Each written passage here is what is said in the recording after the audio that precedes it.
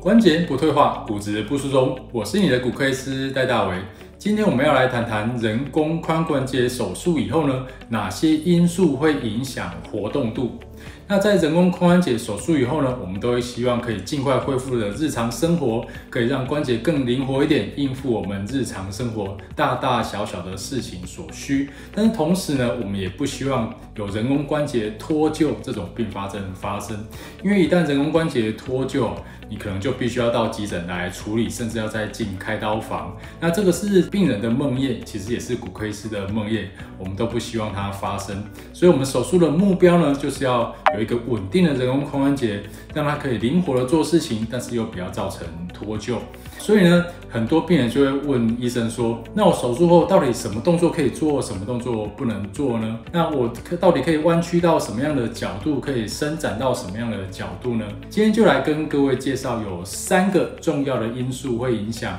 人工髋关节的活动角度。第一个因素就是你这个人工髋关节手术是用什么样子的方式开的。在先前的影片我们有介绍过，在台湾比较常见的三种人工髋关节的方式有：第一个后侧开，第二个前侧开，还有第三个正前开。在后侧开是一个比较传统的人工髋关节手术，因为我们有把后面的关节囊打开。那因为我们坐着的时候，或者是在极限角度的时候，脱臼通常都是从后面跑出去的，所以在这种手术以后呢，就要避免极限的弯曲动作。那另外也是要看看医生他在手术中他的人工髋关节摆的位置也会有影响。那所以这个就是要问你的医生，到底我有哪些动作可以做，哪些动作不能做？那我可以弯曲到几度？这个都是要需要请教医生的。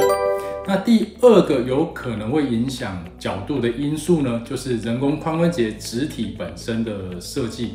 那过去哦，人工髋关节的这个球头，它的直径都非常的小，大概是只有二十八毫米左右，它可以活动的角度就会比较小一点。那在现在，因为材料科学的进步，我们可以把球头越做越大。那所以在比较大的直径的人工髋关节呢，它的活动的角度就会大很多了。那针对比较长脱臼或脱臼风险比较大的患者呢，我们有一种双动式的人工髋关节，它可以进一步让脱臼的机会降到最低。那第三个因素呢，就是脊椎跟骨盆的关系。在我们正常的生理状态下，我们从站着到坐的时候呢，我们骨盆会稍微往后倾。会保护我们的关节不要往后脱臼，但是呢，如果是你的脊椎已经开过刀了，或者是脊椎跟骨盆它是很僵硬的在一起，并没有生理的活动角度的话呢，这样子可能会失去这种骨盆往后倾的能力，所以你在坐下来的时候，骨盆没有办法往后倾。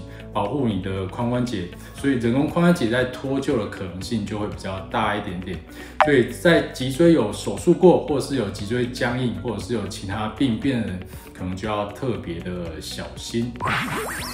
以上就是三个可能会影响人工髋关节手术活动度的一些因素。那其实还有其他的因素，包括是病人本身的因素，像是他可能已经开过很多次刀了啊，已经骨折过了啊，或者是旁边肌肉的功能已经不好了啊，或者是肌少症啊，很久没有在走路了，没有办法把关节 hold 得很好。那这样子的人工髋关节会脱臼的可能性也会比较高一点点。好，这个就是今天我们影片的内容，希望对各位有帮助。我们下次再见，拜拜。